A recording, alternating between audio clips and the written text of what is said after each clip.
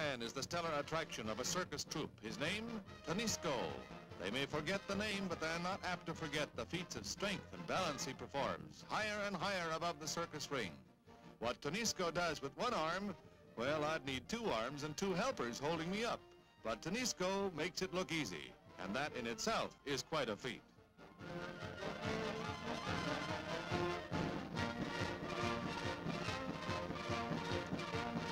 Capping a breathtaking performance, he wheels through the air, a one-armed star of the big top.